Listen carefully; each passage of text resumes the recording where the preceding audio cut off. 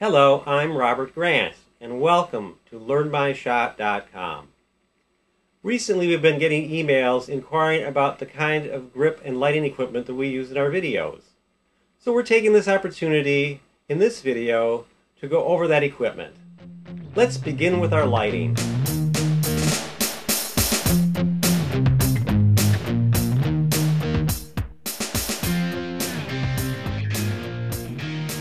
And here's the lighting we've been using in our early videos. An inexpensive $7 clamp light. And the purpose was, is to show you could take creative shots without spending a lot of money on lighting. And in this light, we've used a regular incandescent bulb from 75 to 150 watts. We've used a clear bulb at 150 watts. And we've even used an outdoor spotlight at 90 watts. So in an attempt to keep it fun and creative, we also wanted to keep it inexpensive. Now let's look at what we use for diffusion.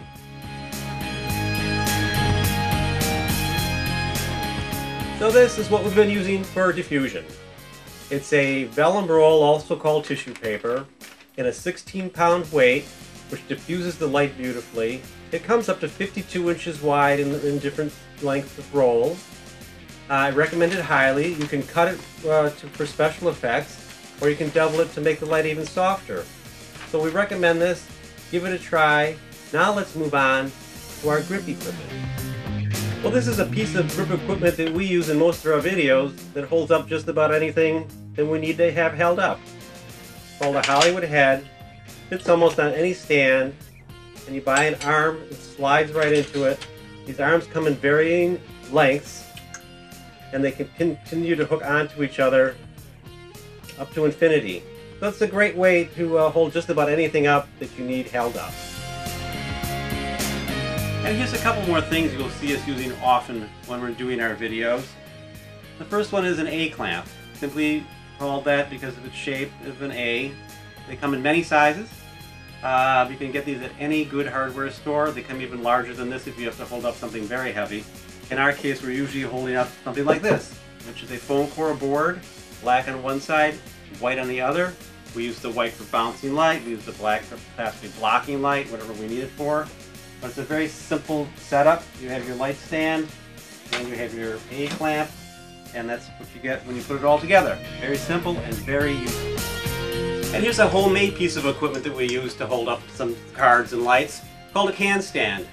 What it is is it's an old stand that legs were broken on, and so we decided to do was get a coffee can, fill it halfway up with something heavy like nuts and bolts, and then finish it off with some concrete. And what this does is it comes in very handy when you have a lot of lights on a set, all the legs sort of get intertwined and whatnot. And this you can sort of sneak in if you got to hold up an extra card or another light or something like that without that happening. So it's a very handy tool, easy to make yourself, and we call it a can stand. And you're going to need a few of these, probably four or five. Uh, it's your typical light stand. They fold up nice and flat like this for transportation. Then the legs come out. And the end telescopes to reach any height uh, that you desire. Uh, this one goes to about 7 feet. I would recommend this type of size for the kind of work we're doing right now. And there you have it, our typical light stand. So here you can see all the components together. We have our tissue on the arm, our A-clamp holding the tissue, our Hollywood head holding the arm, and it's very, very adjustable, and our arm and Hollywood head on the stand. Again, another very adjustable situation. So you have our basic setup to hold up our tissue and vellum and often cards and other things as well.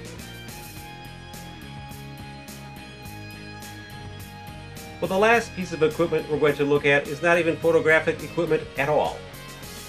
It's called a frog.